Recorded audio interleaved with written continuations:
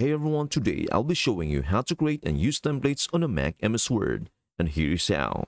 When you click the File option and select New from Template, you probably see a number of templates available to you. For instance, you could use a template to create a resume. You could also use a template to create an accessible template sampler. There are a number of options available to you. Let us use a template to construct a business letter in the first example.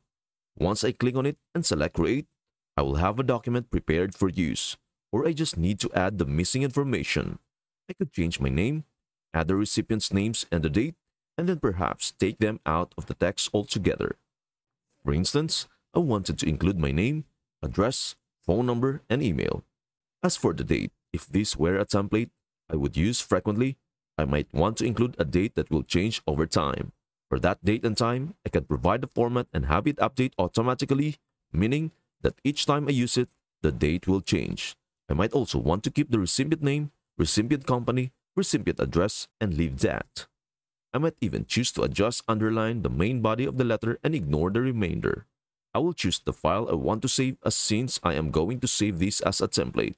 Instead of a Word document, it will now be a Word template, and you will notice that you are in the templates section.